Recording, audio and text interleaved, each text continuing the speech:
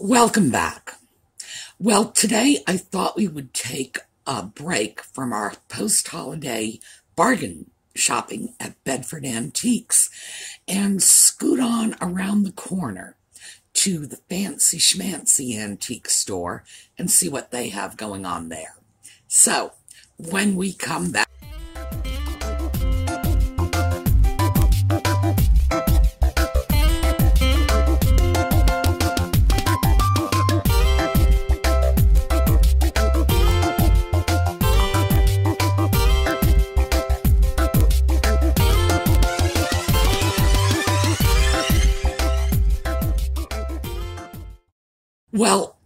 this time around, I started off in the basement, and I have a lot of footage from the basement, but the basement area is the area in which they have their art and their used clothing.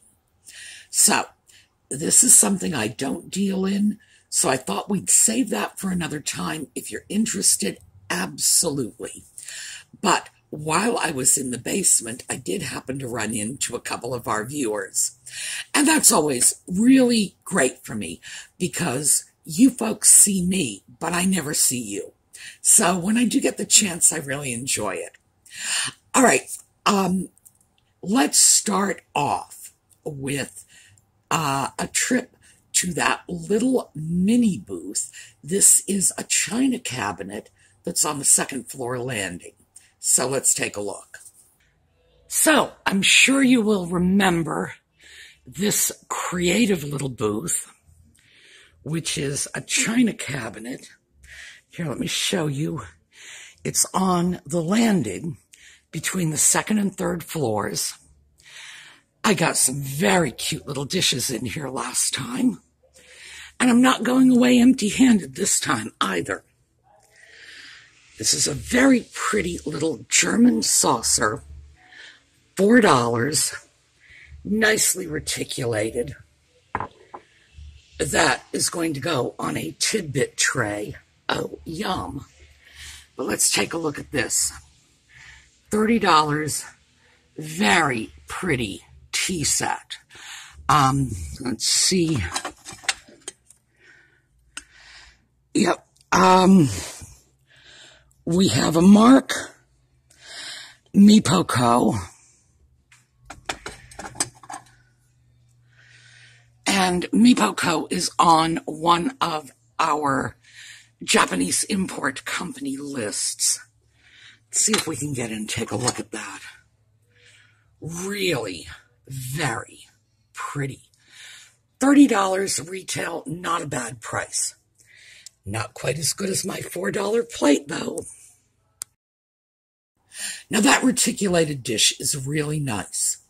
And uh, I'm not concerned about drilling through the design that was right in the middle of it, because quite frankly, it was a rather pedestrian design. I think, as I recall, it was you know the usual 17th century com- couple frolicking in the woods.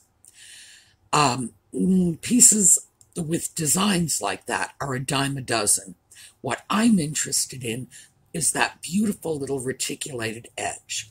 So, I'm not going to have a problem drilling into it. It's not a unique piece in any way, and it's not the kind of piece that has a design that would really make me say, ooh, don't want to drill into this.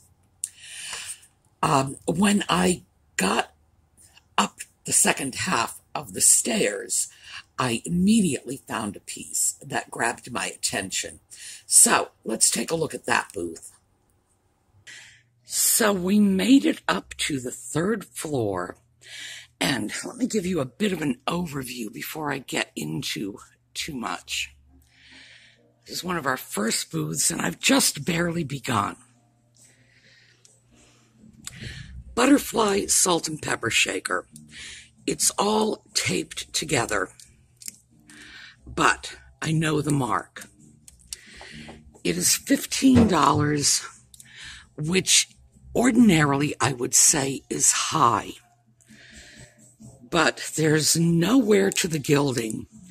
And these little butterfly wings are in really good shape. No chips. It's got a caddy.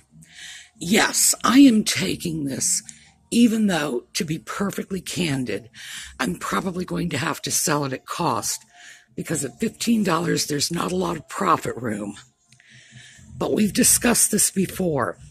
I don't have a problem with selling something at cost because it drives traffic through your shop.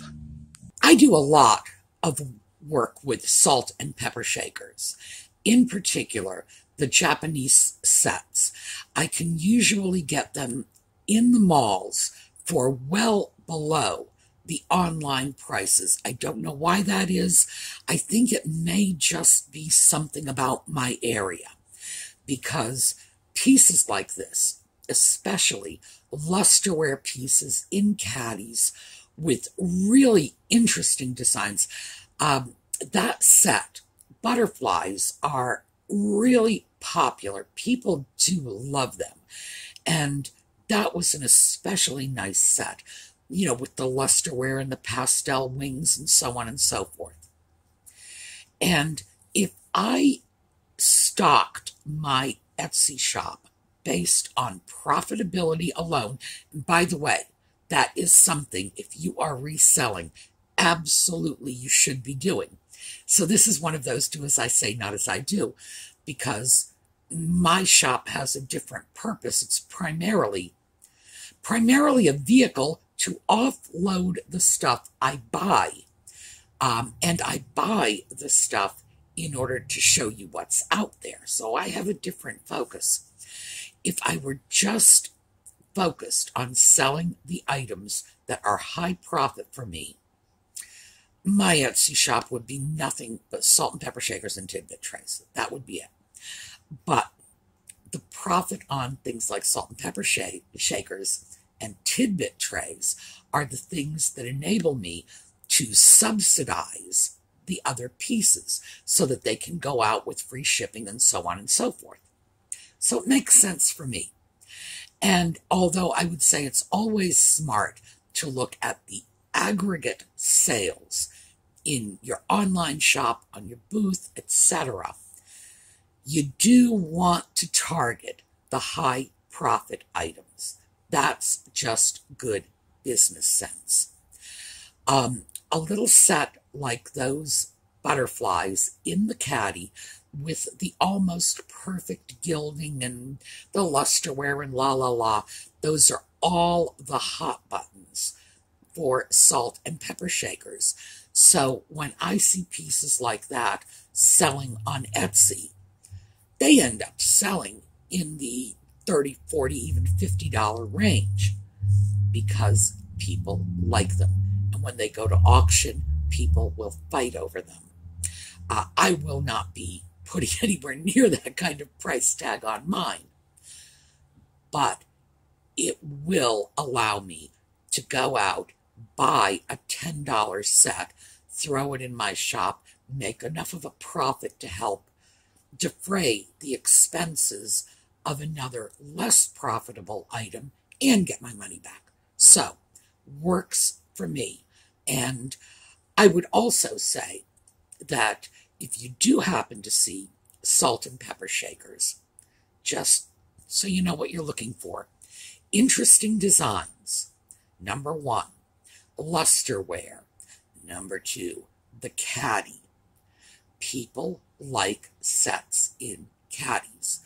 I assume it's because of the ease and convenience of picking up both your salt and pepper, you know, with the little caddy and moving it around. I don't know. I have no idea what is so appealing, but I can tell you they are very appealing pieces. So, I didn't get very far. In fact, I think it might have even been the same booth when I came across another kind of piece that we've seen before. So let's take a look. Barrister bookcase here. We have four different levels, and we've talked about this. They are joined together, these are all separate. So you can pull two out and keep it lower. You can add two more to raise it. Um, this is $1,195. But on the tag, it says there is an additional set like this that will go with it for free. So the other set is apparently not in such good condition. You can see this is the original fumed oak finish, the quartered oak facing in the front. Two of these for $1,200. It may not sound like a bargain, but for people who want a barrister bookcase, oh yes, it is. These things sell for a fortune. Yes, barrister bookcases, they sell. I'm, they will sell anywhere in any part of the country. A barrister bookcase will sell. Antique bookcases will sell. They are the first to get snapped up. Um, the bookcase that is behind me, I have literally had people walk into my house and make me offers for it. It's people like antique bookcases. I attribute that primarily to the fact that people who like antiques often work from home, have home offices, have libraries, studies, etc. Just seems to go hand in hand appreciation for books and appreciation for antiques. But who knows what it is? I could be dead wrong about that. That's just what I think, just my speculation.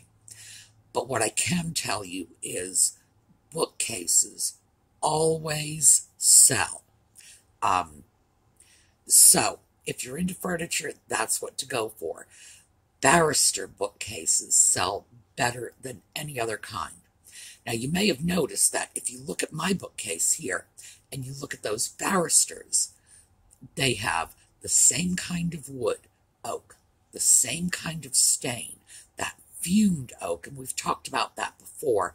They don't do that, that sort of finish anymore because it's highly toxic and people died. It's ammonia fumes, you know. Um, just imagine what OSHA would make uh, if a factory said, yeah, we're going to expose our employees to rooms filled with ammonia fumes. It's not even legal to do that anymore. So it's a special finish and it produces a, a sort of walnut color from an oak piece. And that was very popular at the turn of the century. Um, barrister bookcases, yes, I know that price might have looked high, but I can absolutely assure you, no, no, that's probably actually low. Two pair um, for 600 each, assuming the less attractive set wasn't too bad. No, that's probably a bargain basement price uh, because, like I say, people love them. They go nuts for them. So that's something to keep an eye out for in your travels because People will come to your house and pick them up. They will pay you to put on put them on trucks and ship them out. So it's not even a question of gee, my local community is not interested in this. You can put them online, sell them to someone halfway across the country, and they'll deal with the shipping hassles for you. So it's always good to keep that in mind. Um, the next thing I saw is something. And these are very widely available in some parts of the country. And uh, you don't even see hide nor hair of them in others. So let's take a look. Tucked off in the back here is a set of what are being called daybed rails for $30. We've got brass, we've got iron, it looks like this might be a newer piece, antiqued to look old. And I'm not sure about this daybed rails thing. Looks like a set of headboard and footboard to a twin bed. $30 even for a new repro piece. Nice price. Yes, headboards and footboards, particularly if they are brass or brass and iron. As I mentioned while I was filming this, I suspect those were newer, but antiqued to look old. But still, at the price, it's quite a bargain. I'm you know, I know most people do not have twin beds in their homes anymore. Usually that's just something for children, but still, you just can't find a headboard and footboard anywhere for $30. So, if you want to go out and get an inexpensive headboard footboard set for your kids, absolutely shop the antique stores. You will get something that is much more sturdy and reliable as opposed to new furniture, much less expensive. And when Junior, you know, moves off to college, you can throw it right back on the market again and probably sell it for a profit. But I thought that was something interesting to look at, mostly because it was hidden away. Um, next up, uh, my attention was attracted by a little lamp in a corner. Okay, nice little parchment shade. It's a clip on and uh 30 no it's $55 we've got a dog or a rabbit or something. Good heavens i don't know what that creature is. I like the shade frankly. It's a nice vintage shade the lamp is not doing that much for me. Well, the lamp itself was nothing that caught my attention. I couldn't even tell if that was a dog or a rabbit or I mean when I first saw it I thought it was a Rolls-Royce hood ornament, you know, it was the winged victory or something. I'm still not sure those those were ears and not wings. But the shade was nice, and I thought the shade was something worth looking at. Those nice little parchment shades. Um, they're easy to repair and restore. Very pretty. And as you can see, they match very well with more modern lamps. So again, lesson to be learned here. If you see them, grab them. Um, oh, okay. Now, I, I was debating about whether or not I wanted to show you this bit of filming because the camera went nuts. I don't know why. I think it's because I was behind this huge floor to ceiling window and it just it wouldn't focus the light wouldn't um, the lighting wouldn't equalize but bear with me i know it's not quality film footage but I thought you might like to take a look at this piece anyway. So let's see if we can get the camera to focus in on this.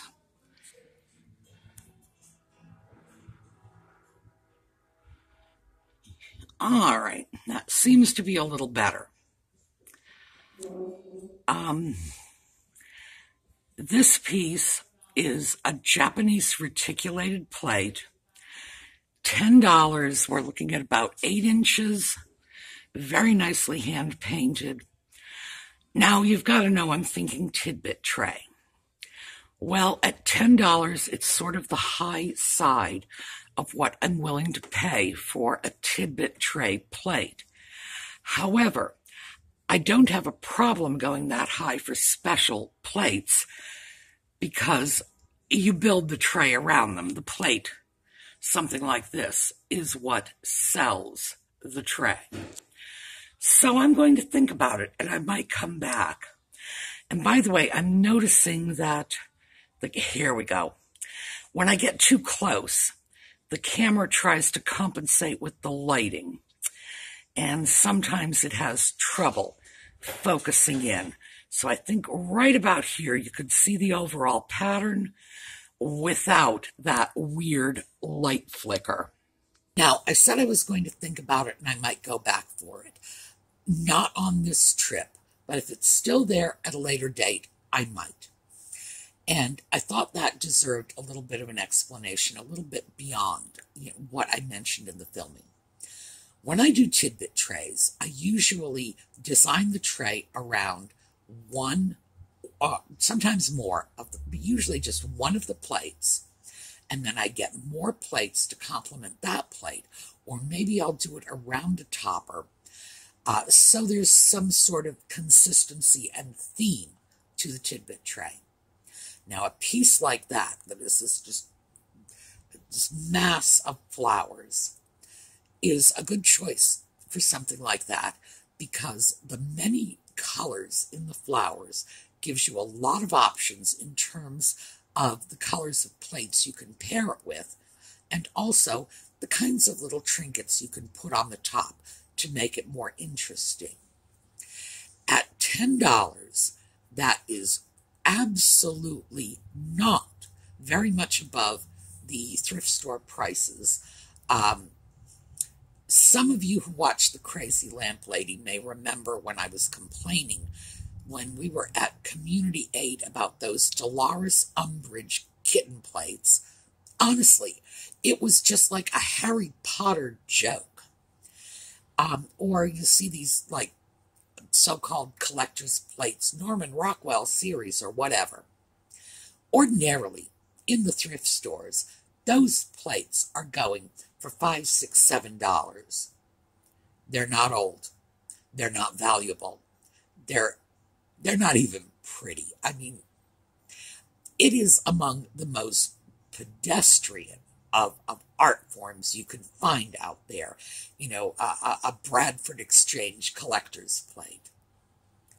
At $10, uh, a reticulated, gilded Japanese plate that's been hand painted back in the days when hand painting really meant some nice work.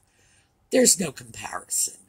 And so I would have to say, yeah, thrift store prices because for $10, you're getting 10 times as much plate as you would get if you went and got one of those Dolores Umbridge kitten plates for five or six dollars at a thrift store.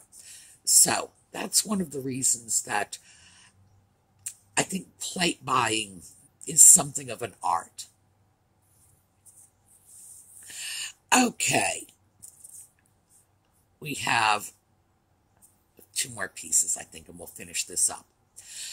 Uh, when I went around to the back, and this is the area where I had previously found some really interesting steampunk stuff, I found a great piece of furniture. It's the sort of thing that makes me wish I had access to the schoolhouse. You know, mm, the contractors are still out there. By the way, they swept it up for me, which was really kind of them. I'm very impressed. I like this new contractor. Um, if I had the space to store this as a project piece, it would have come home with me, even if I had to carry it on my back on the bus. All right, here is another nice dresser. You notice that top drawer. Here, let's pull it out a little. There's the profile of the drawer, the nice curved line. And of course, you can see the top drawer overhangs the bottom. Don't need to tell you what era this comes from. Um, 189.98. That's what the price is.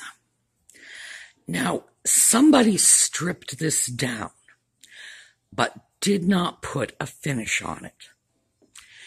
Uh, but keep in mind, when they strip it down like this, they've done 90% of your work for you because putting a finish on this piece is as easy as applying a coat of furniture polish. It really is.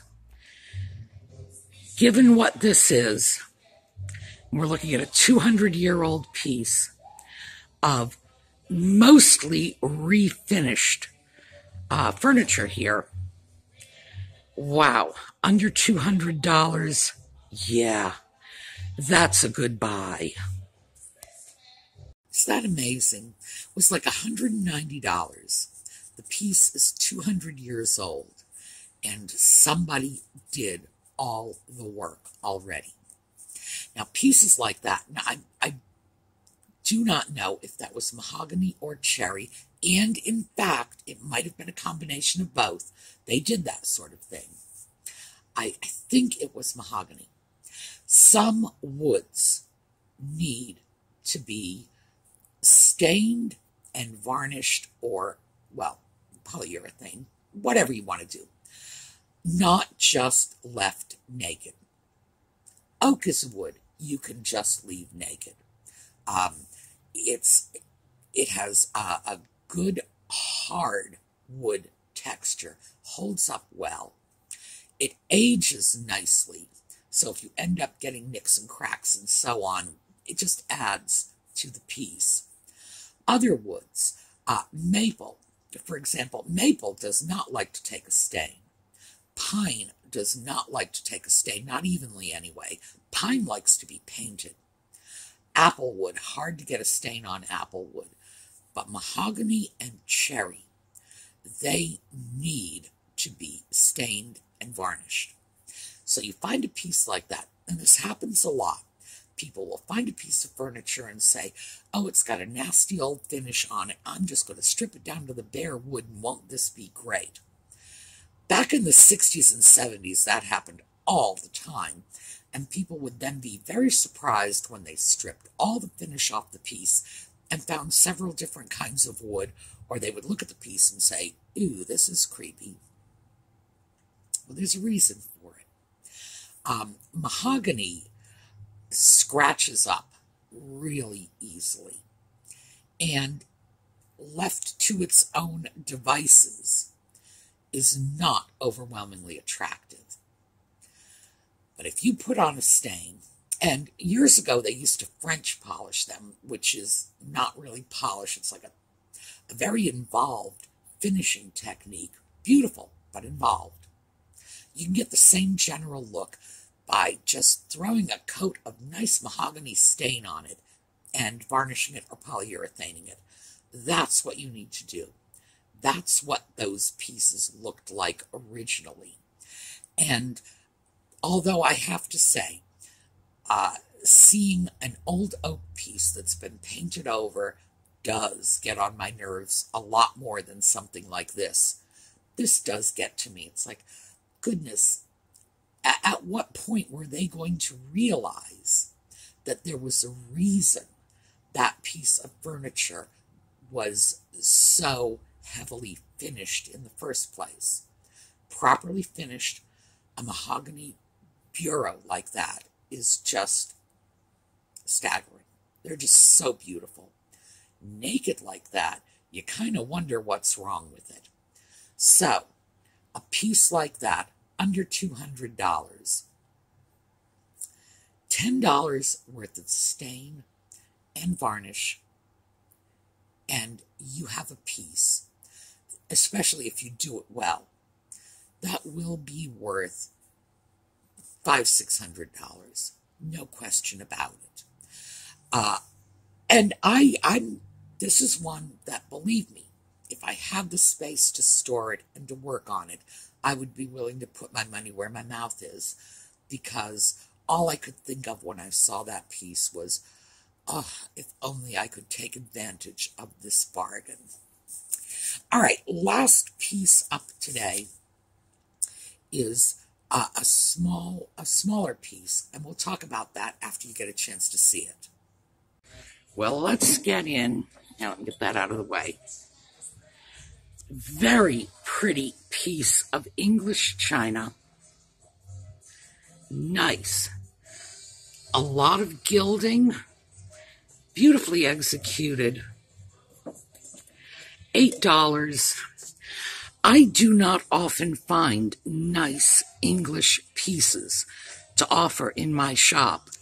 And I sure don't find them for $8. So this one is coming home with me. English China was a thing.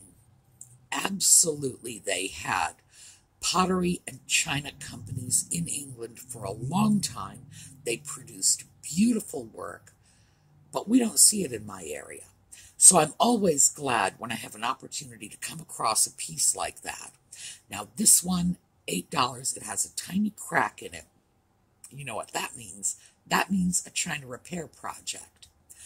But it also means that when the repair project is complete, I have a piece I can throw into my Etsy shop and sell at a good price because, of course, it will be repaired. You know, you don't charge the same amount of money for a repaired piece that you charge for a pristine piece, but it's still going to be very nice, very attractive. It's going to find itself a home. But I like being able to get my hands on pieces like that every once in a while just to shake up the contents of the Etsy shop. And as I was saying before, when I was talking about things like the tidbit trays and the salt and pepper trays that have a higher profit margin, those are the things that allow me to go out, pay a little more for an English vase, and sell it for a little less because, you know, it had a flaw. All right, I got plenty of footage at the Fancy Schmancy Antique Shop, so we're going to do some more of this. Meantime, you all have a great day, and I will see you tomorrow.